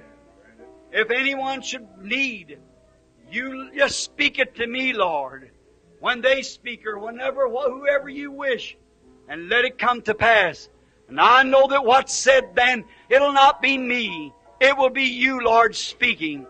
I submit myself to you, and before I leave from this ministry, the old type of the visions and so forth, at this altar where I dedicated my life anew, from preaching the gospel to signs and wonders, I dedicate myself again this morning to you, Lord, for service. The first time this has been told. The first time, Lord, that it's been manifested here, sets of witnesses. Oh, Lord God, if there is anything you can use this old hull of mine for, I am yours, Lord. Take me and mold me and fashion me and do something, Lord, that'll honor and glorify Thee. Spread it out amongst other ministers. Send it to the four corners of the world. The hours are getting late.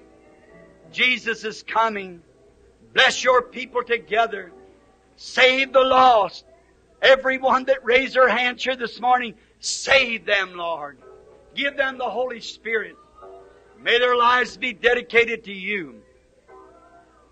This little church, Lord, the pastor, and every pastor here, every evangelist, teacher, every member of any other church, oh God, as a body of people, we give ourselves to you.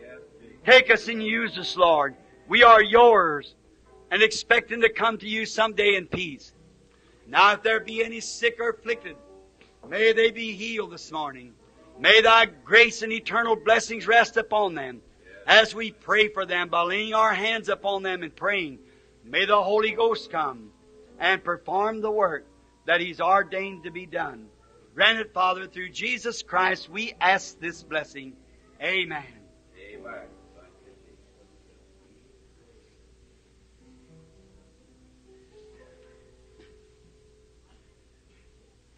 I have told you the honest truth. Just as God has revealed it and has did it, I have honestly told you the truth.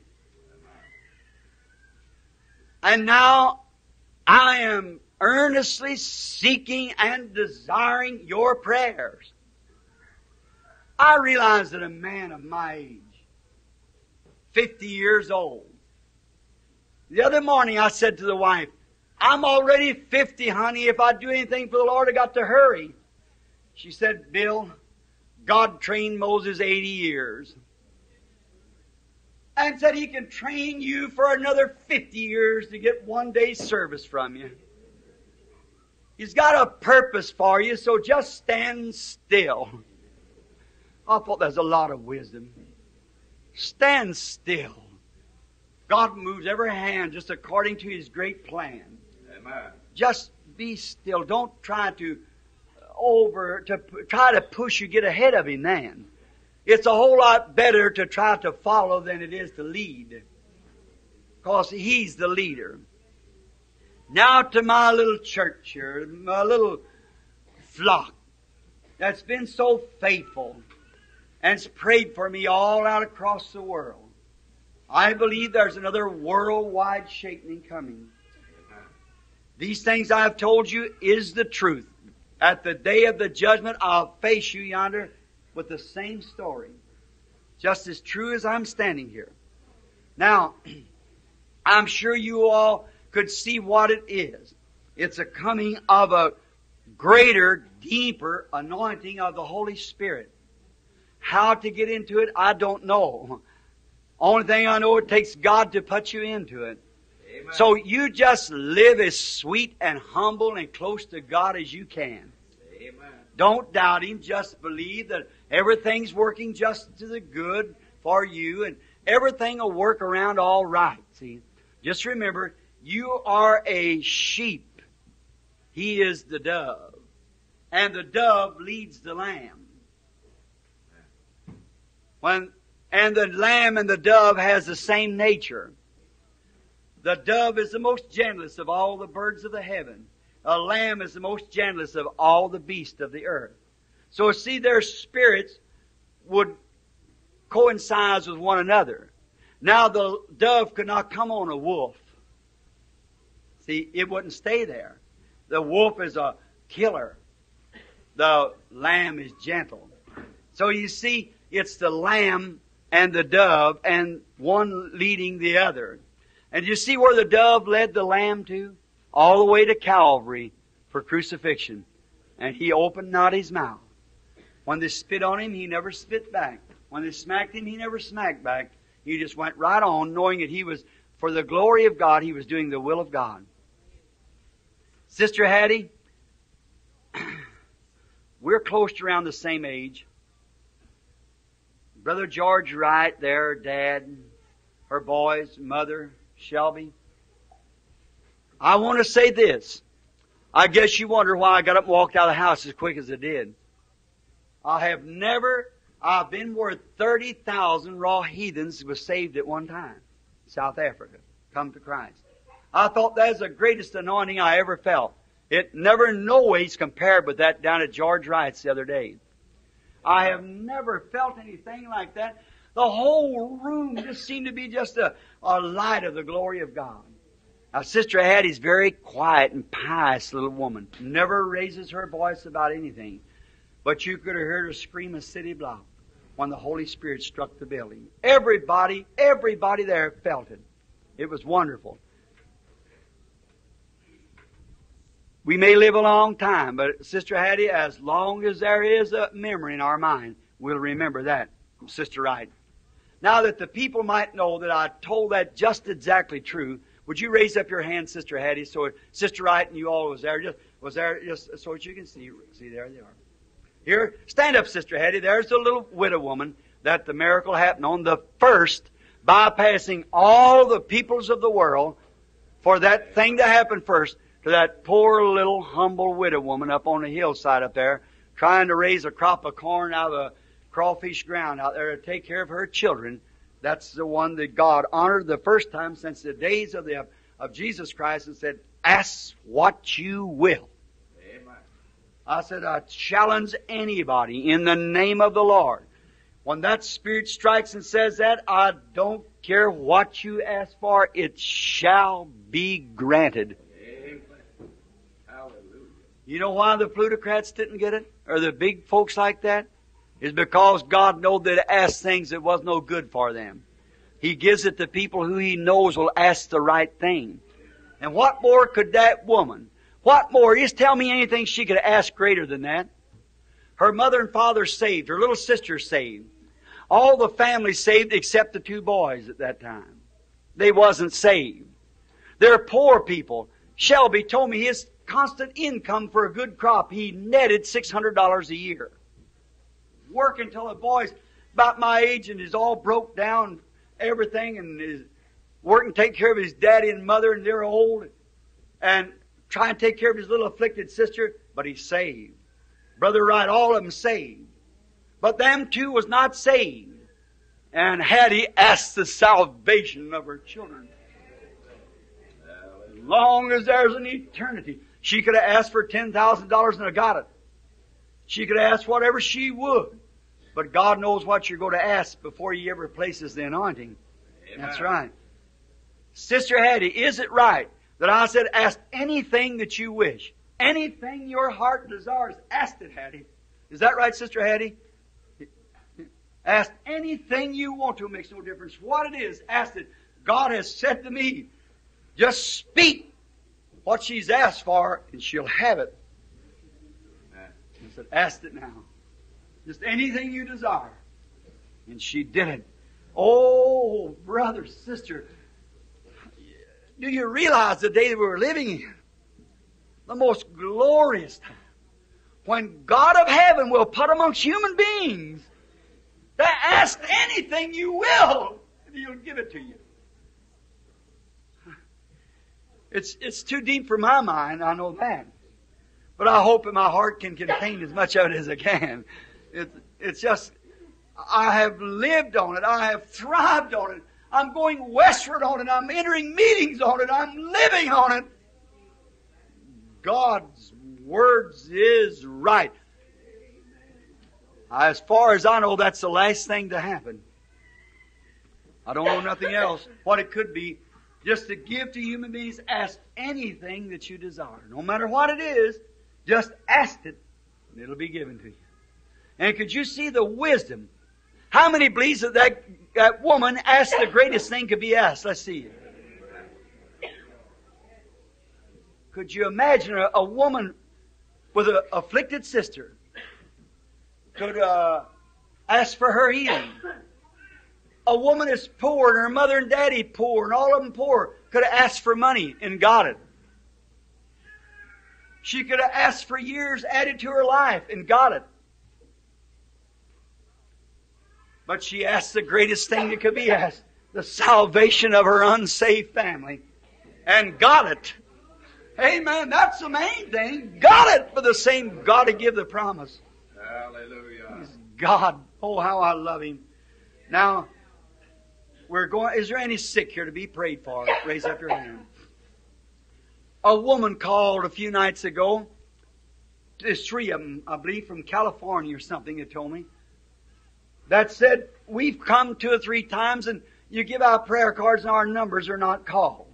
I made her a promise if she'd stay over that I just pray for the sick this morning.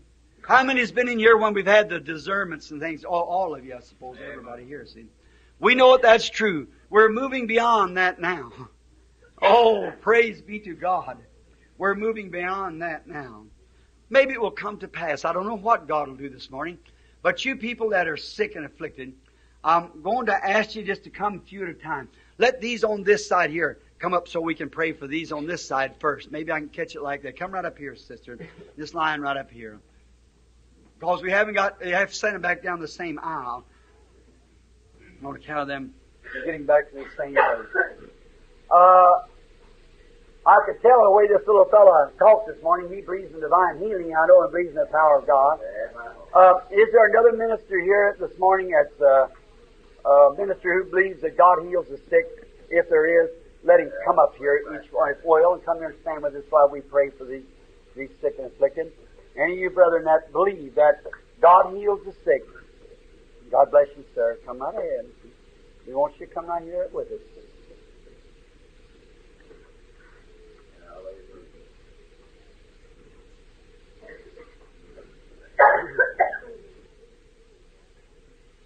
Now, we do not know what the Holy Spirit may do. The Holy Spirit may at this time perform just like He did down at Sister Wright's the other day. I trust that He will. I don't know. You understand? How many know? Well, there's not many of you left here when the visions first started. I don't know what time they'll come, what they'll do. Everything is in the will of God and has to be controlled by God. How many knows that? God could not give man things to control themselves. If they did, then you see, it wouldn't be God. It wouldn't be God. It would be. I want you to think here, friends, in this little lowly place, but how the Lord has absolutely, Brother Mike, beyond any shadow of doubt, has blessed us and performed and done just exactly what He promised He'd do. How many ever heard of superstition perception? Many of you has. It's, it's just nothing but mythology, spiritualism. But you know, they can't, them things are not lasting. They don't hold on. They can never get any material. They'll sit down there and have, they say, there's a spirit, there's a spirit, and they'll try to take a picture of something. They can't do it. See, it's just, it's not there. It's psychic. Mental. But what God does is perfect. When Moses threw down his rod, the magician threw down his rod too. They both turned to serpents. Is that right? But what happened to Jannes and Jambres' rod? Moses' rod swallowed it up. And when Moses picked up his rod, it was still a rod. But where was their rod? Inside the rod of Moses. See? You couldn't see it. When God does anything, He makes it real. Now they tell me the Holy Spirit, you know, they say, that's people just worked up. It's mental. Them visions and things, that's just uh, mental telepathy. Well, when George J. Lacy examined that picture there, when that angel of the Lord, many of you stand here seen on the river many times, he said, Brother Branham, the mechanical eye of this camera don't take psychology. He said the light was there. There it is. It's everlasting. It's true. So you see, it's the same angel of God. Now watch it. The nature of it proves it. When he was here on earth, it was dwelt in a, the Lord Jesus Christ, who was God made manifest. And now Jesus said, a little while and the world won't see me no more, yet you'll see me, for I'll be with you, even in you, to the end of the world, and the things that you do, that I do, shall you also. Now watch it, when it comes, a man can say anything. But when God backs it up, that makes it true. Now watch the nature of that angel. When he gets the person so submitted to him, he does the same thing that Jesus did when he was here on earth. Because we are sons and daughters of God if we're born of His Spirit. See? And it ain't no mythical thing. It's got evidence to prove it. It shows that it's right. So our salvation is absolutely perfect. The God of heaven, who had all the prophets to speak of the coming of the Lord Jesus. And Jesus, when He come, He fulfilled every prophecy. Many of them was fulfilled at the cross, wounded for our transgressions, and what David said, My God has thou forsaken me. But when God sends a prophet, a prophet speaks, God makes that truth. If it's God. That's where He said to know them. If they spoke and what they said come to pass, then believe them, for I'm with them. If it doesn't, then they're, they're not. They're false prophets. He said, but to mark them, see where they come to pass.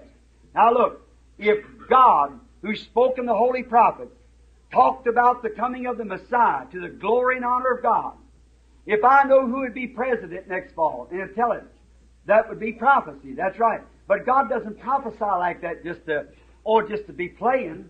God does something to glorify Him. See? But when the Messiah comes, and when the Messiah left, I want to ask all you Methodists, Baptists, Presbyterian, Catholic, Lutheran, Pentecostal, Nazarene, Pilgrim Holiness, all of you, I want to ask you something.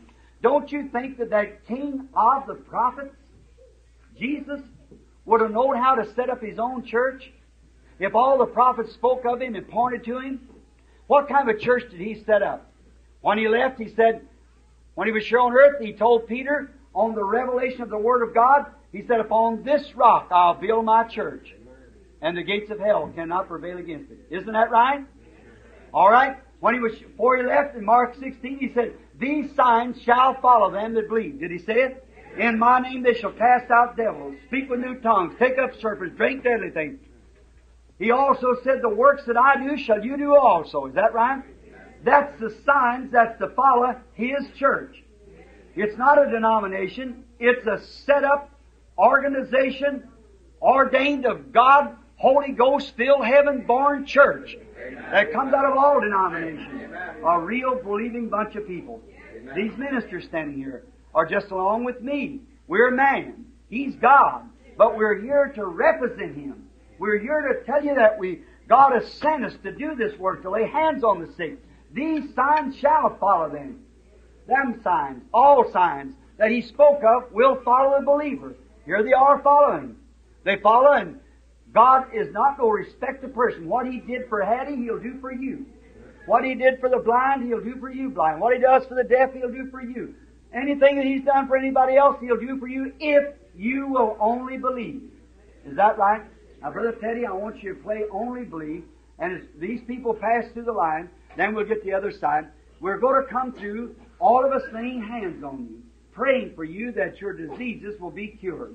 And it can, it'll be, and I don't know what God's going to do. I'm just standing here right now, not knowing what to do. I'm just going to pray for the sick like I promised somebody that I do. Just pray for it. Last Sunday, remember I told you last Sunday was the was the revelations and so forth. This Sunday I'd pray for the sick. Let us pray now. Lord, we stand here as your servants. We stand before your people. We're here. We don't know what you'll do. You might speak with tongues. You might interpret. You might give a vision. You might cause me to take someone's hand for a revelation. You might speak and give the authority to say whatever you will. I don't know what you're going to do, Lord. And maybe you want us to lay hands on the sick. We don't know what it is. We're just wanting to please you, Lord. We're standing here as your servants. And these are your people, and we're trying to help them according to what your word says do. We're trying to follow your instructions. And I pray thee, Lord, that you'll give to us that what we have need to minister to the people through Jesus Christ's name. Amen. I want all the rest of you keep your head down and pray. Well, Brother Woods, if you'll uh, minister, brothers, I believe we stand right there. How many is there? Four of you here? Or two on each side there, and I'll stand right at the head of the line right here. Just one more. All right, come over here, brother dear. Right, that's it. Stand right along there now. And as they pass by, all congregation, now two little boys move back so they can walk out. Now as y'all pray, go right straight here. Your seat's and in a I'll call for the other side. Now every one of you, not only ministers, but all of these, ought to pray for these people. You don't know what God might do for you while you're praying for somebody else. What if you'd say the right thing? What if here's a woman standing here that's uh, so sick they have to hold her up? What if your prayer would be the right thing? It's like Banks said the right thing, like Hattie said the right thing. What if you'd say the right thing? Your prayer would cause God to come down and do something. See, this is just not one person. This is the church of the living God. Everybody. Uh, everybody's being prayed. I just said that Brother Banks, you just bring the people to it. Somebody standing here, if you will. We're to the ushers. Brother Bird, you help us there. And Brother Banks, you come here then. We'll pray. Let us pray. Lord Jesus, are coming. May they be healed.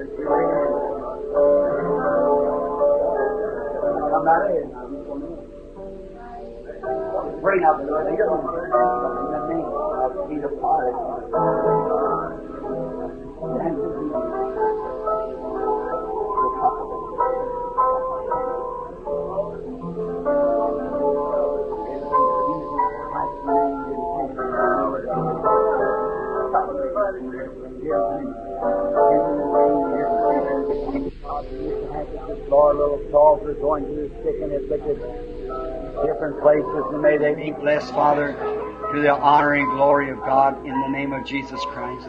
Amen.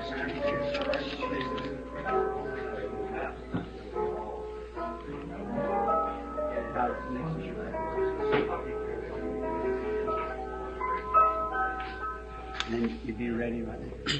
All right. Yes, the Lord Lord bless bless you, you, brother. Sweet home, where are you? Well, from Oregon. We will see you at the San Jose. San Jose. Well, We're wonderful. God bless you. I hope, I hope that it'll just be one of the greatest meetings. We know it will. Thank- God's there. It has to be. Thank you, my brother. The Lord bless you. Isn't this like heaven?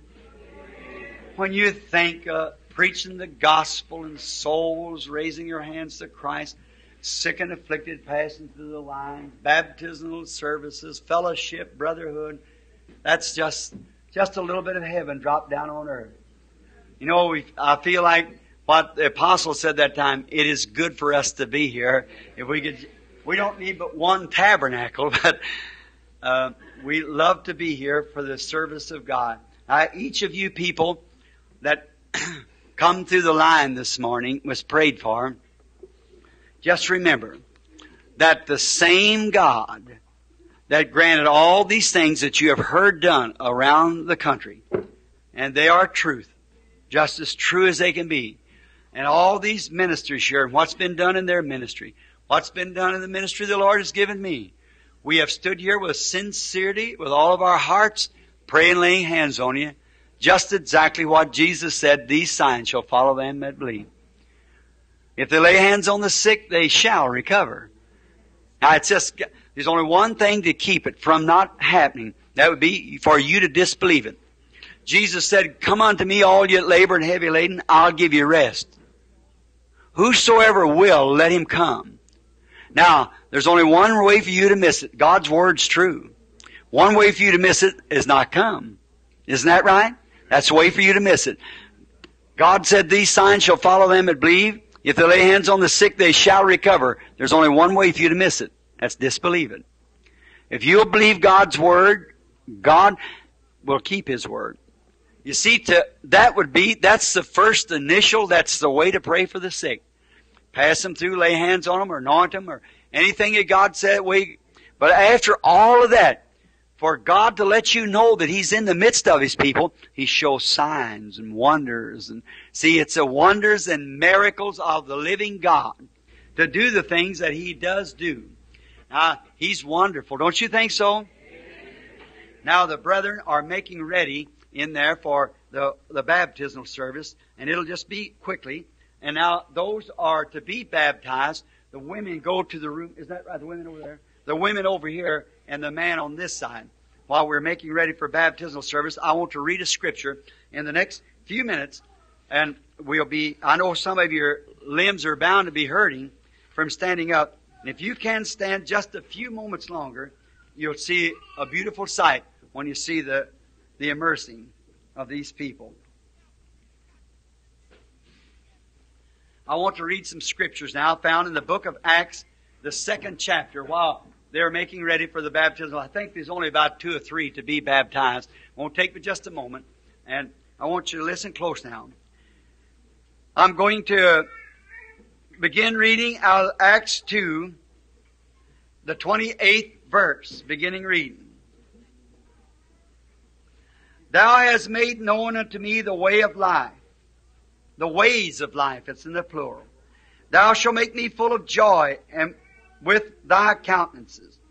Men and brethren, let me freely speak to you of the patriarch David, that he is both dead and buried, and his sepulchre is with us to this day. Therefore, being a prophet, how many know David was a prophet? Sure. He was a psalmist and prophet. Therefore, being a prophet, and the knowledge that God had sworn with an oath to him, that of the fruits of his loins, according to the flesh, he would raise up Christ to sit on his throne. He, seeing this before, spake of the resurrection of Christ, that his soul was not left in hell, neither did his flesh see corruption. This Jesus has God raised up, wherefore we are all witnesses. Doesn't that sound like today? We are witnesses of these things. I could say this morning, Hattie, the rest of you, we're witnesses of these things. Therefore, being at the right hand of God exalted, having received of the Father the promise of the Holy Ghost, he has shed forth this which ye now see and hear. For David is not ascended into heaven, But he said himself, the Lord said unto my Lord, Set thou on my right hand. Remember last Sunday how we spoke of the prophets? All them great men, how they had to die, but one come, the royal seed. Set thou on my right hand until I make thy foes thy footstool. Therefore let all the house of Israel know surely that God has made this same Jesus who you crucified both Lord and Christ. Now when they heard this, that Jesus was both Lord and Christ, now when they heard this, they were pricked in their hearts and said unto Peter and the rest of the apostles, Man and brethren, what shall we do? Then Peter said unto them, Repent and be baptized, every one of you, in the name of Jesus Christ, for the remission of sins, and you shall receive the gift of the Holy Ghost. For the promise is unto you and to your children, and to them that's far off, even as many as the Lord our God shall call. And with many other words did he testify and exhort, saying, Save yourselves from this untoward generation. And they that gladly received his word were baptized, and the same day there were added to them about 3,000 souls. And they continued steadfastly in the apostles' doctrine, and in the fellowship, and breaking of bread, and with prayers. And fear came upon every soul. And many wonders and signs were done by the apostles. And all that believed were gathered together, and had all things in common, sold their possessions and goods, and parted them to all men, as every man had need. And they continually, daily, with one accord in the temple, breaking bread from house to house, did eat their meat with gladness and singleness of heart, praising God and having favor with all the people. And the Lord added to the church daily such as should be saved. Now, just the Father coming to the water, you let me know when it goes to the water. Uh, that you might know that sovereign grace that reigns with God. I want to go back. I just can't help from placing something else in. Did you know those two boys, that woman's children, that were saved, God knew that before the foundation of the world? And their names were actually put on the Lamb's Book of Life before the foundation of the world? The Bible says that. And it only had to work to this minute. Did you know God knew that we'd be standing here 10 million years before the world was ever founded? You know He knew we'd be standing here this morning? The infancy of God. No ever fly, ever gnat, every time they bat their eyes, and how much tallow they would produce before the world was ever formed. God knew it. Now, you say, well, if He knows it, then why are you preaching? That's God, part of God's program. Preaching is His program. When He looked upon the apostles, He looked upon the harvest. He said, the harvest is ripe, and the labors are few. Pray the Lord of the harvest that He will send labors into His harvest. How many remember that? Well, why would they have to pray to the Lord of harvest to send laborers into his harvest if the Lord of the harvest is standing there knowing it would be done? Why? God has so arranged that his, now listen to this, God has so arranged it that his program cannot move without you and I. And as long as we're not doing what God needs us to do, we're paralyzing His program. But when the church moves by the anointing of the Holy Ghost, then we are in God's will doing His program.